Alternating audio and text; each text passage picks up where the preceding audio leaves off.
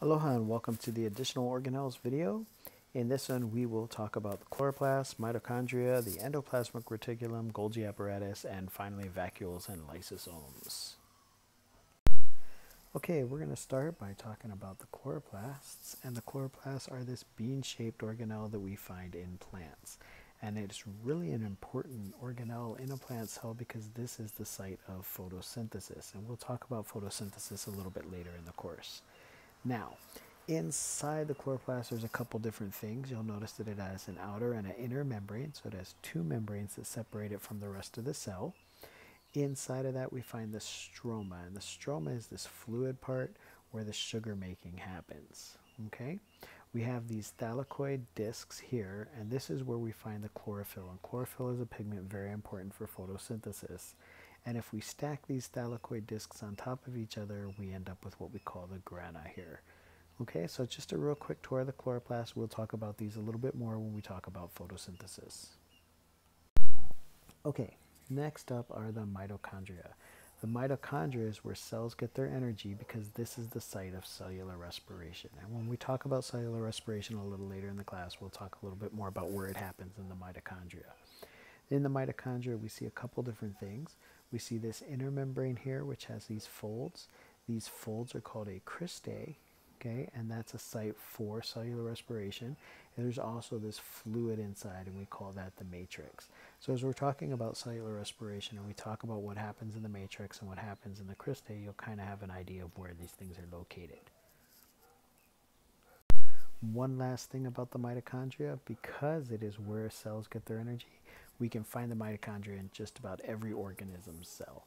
This is how they get their energy to perform the processes that the cells need to to keep the organism alive. Next up is the endoplasmic reticulum, and we can abbreviate that the ER. Now, the ER is where we manufacture a bunch of different macromolecules that the cell will need, and there's two different parts to the ER. There's the rough and then there's the smooth ER.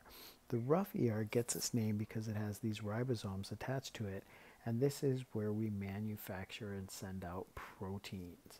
And that's what the ribosomes do. The ribosomes are where we see protein synthesis happen, and those are attached to the endoplasmic reticulum, which makes it the rough ER. On the smooth endoplasmic reticulum is where we'll manufacture other macromolecules that the cell will need to live. And we'll talk about that a little bit more in the lessons in this unit. Now, if we have the endoplasmic reticulum to make the molecules, then what we do is from there we send these packages to the Golgi apparatus. And the Golgi apparatus is where they are packaged and they'll put into little vacuoles and things of that nature. And they are sent out into the cell or they're sent actually outside of the cell as well. So the Golgi apparatus takes whatever we're making and gets it ready for shipping to get it outside of the cell or for use elsewhere inside of the cell. Okay, the last organelle we're going to talk about in this video are going to be the vacuoles and lysosomes, and these are for storage for the most part. Vacuoles are definitely storage containers. They can ship things around, they can move them in the cell or outside of the cell, but they're also good for storing stuff for later use.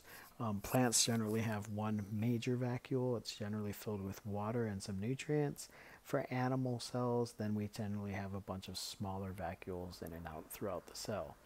Now, we also have the lysosome, which you can see right here, and the lysosomes contain special enzymes that help the cells digest or break down large molecules, toxic molecules, things of that nature.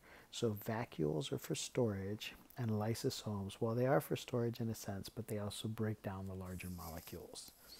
Okay, so that's it for our quick tour of some of the organelles in a cell. As always, the lesson will explain it in a little more detail, and good luck on your lessons, and we'll see you in the next video.